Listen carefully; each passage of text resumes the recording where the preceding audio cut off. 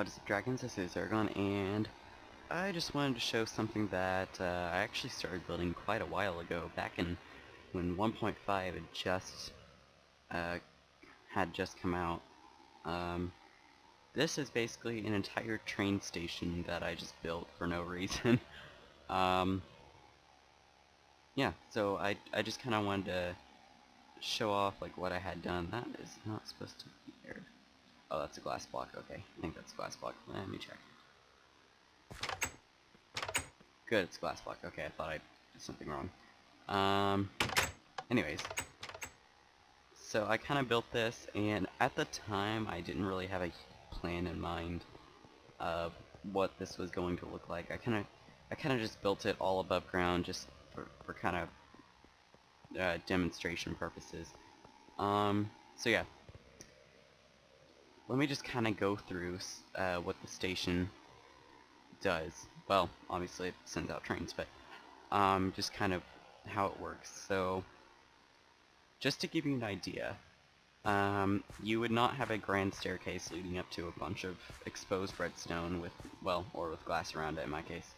Um, I built this up because I built all that above ground for demonstration purposes, and also I'll get to the, why the redstone is laid out that way later. Um, basically, oops, sorry, I just hit my microphone. Um, this, where this block, um, this block would be ground level, so that's grass. Um, so, just to kind of show you, the only redstone that would be above ground, or I guess really, a, uh, none of the redstone over here would be above ground. These these redstone torches would be, well, actually, Oh, that's right, physics.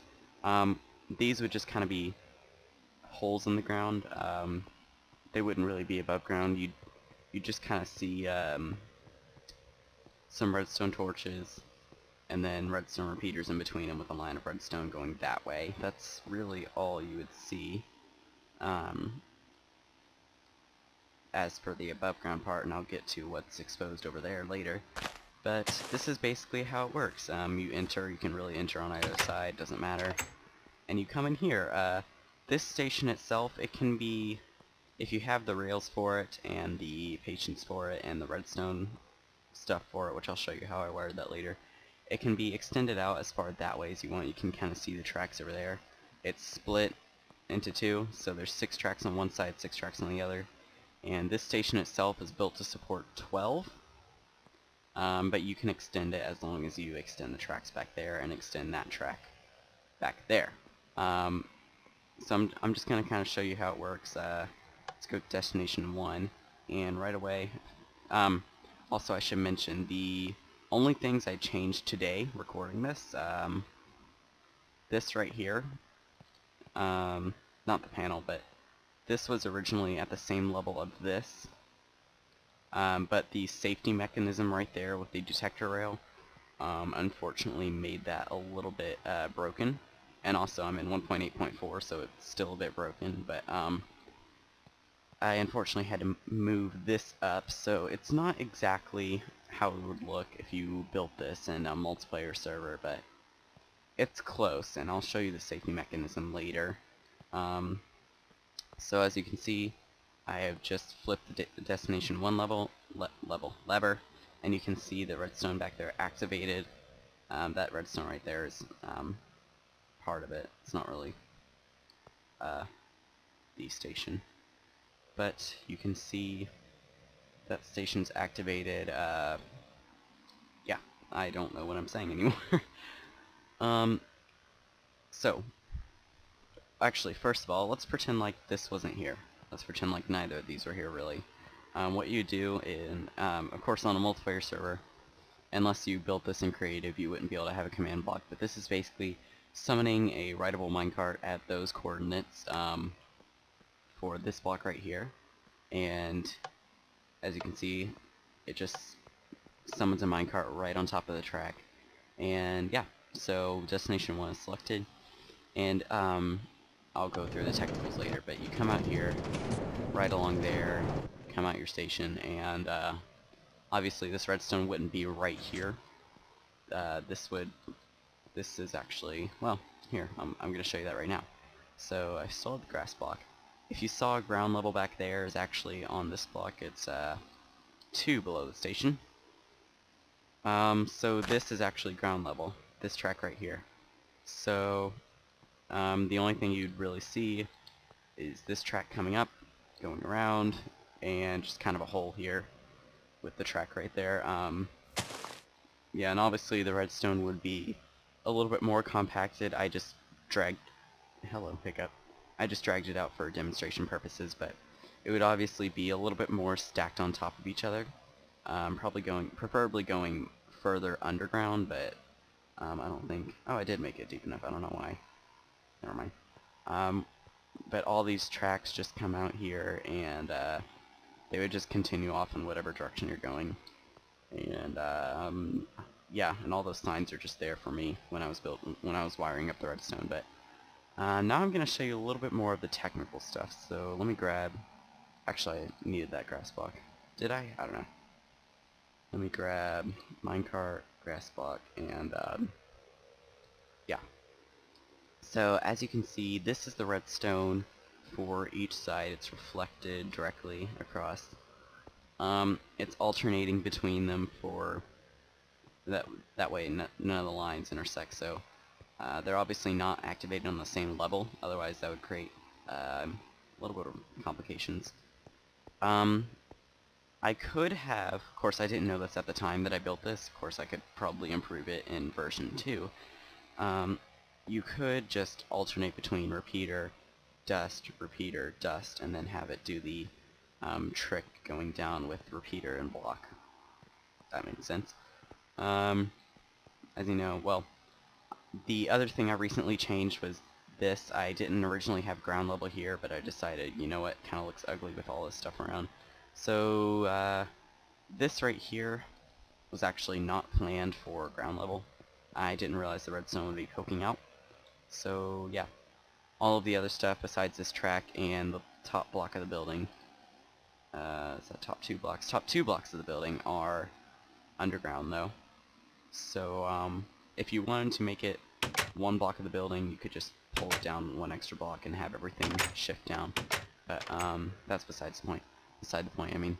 Um, everything's surrounded in glass just to kind of represent that, hey, there would be blocks here. And of course there would be blocks here too, but this just kind of made it easier for me to uh, put all the tracks in. I didn't have to uh, kind of go in between here. Um, and I didn't put all the glass down here. I don't think I did at least. Let me check. No, I did not. Okay. Because uh, I didn't really want to place that many glass blocks. But, um, yeah, so the redstone comes out the side, uh, some of it loops that way. I think there's only one piece that I actually sent underground, and it was for, uh, why did I send that one underground? That's right, because it came out over here, um, and I wasn't really thinking about it at the time, but, but, you know. So those all just loop around and go to their respective tracks. Uh, these two I didn't plan. Of course, I didn't plan really any of this, really. Um, these two just kind of hop over the rest, and obviously they would be underground, um, probably further down. Uh, Alright, so now I'm going to get to the safety mechanism. I'm um, probably going to have to break a little bit of glass here. Just break three on each side. So the safety mechanism basically acts like this, and I actually need weight in the minecart for it to work properly, but um, basically if a train or a minecart in this case, comes out of the station, it passes over this detector rail, which um, is sort of not really reflected on the other side. Um, so let me actually demonstrate over here because this one's a bit, just a bit more complicated because of uh, how close I put the redstone right there and that mechanism right there. Um, basically, it passes over the the detector rail.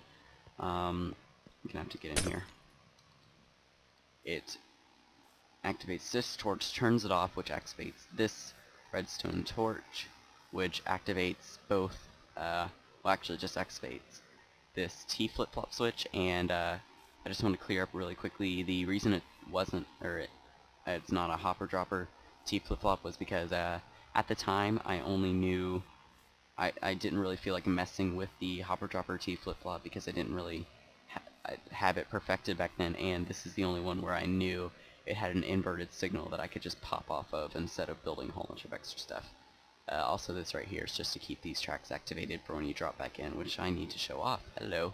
Probably should have planned this video better, but um, this basically turns off this torch, which activates the T-flip-flop, um, turns on this torch, which goes through this block over here, comes down over here, and uh, turns off this lamp and these two minecarts. Uh, I don't really know why I have the lamp there still. I can remove it, but why did I say minecarts? Turns off these two power rail sections, which makes it to where if another minecart comes out right behind that one, it uh, it stays there for a few seconds. And I believe, let's see, one, two, four, six. I think I have this set to six seconds about. So after six seconds, it reactivates the T flip-flop, which, uh, um, trying to think. Hold on. Oh, that's right. I had the repeater going that way. Yep, right. I, I'm, I'm caught up now. Sorry. I did this so long ago, I don't even remember my own red, redstone um, stuff. Let me make sure really quick, because I don't think this is activating both sides.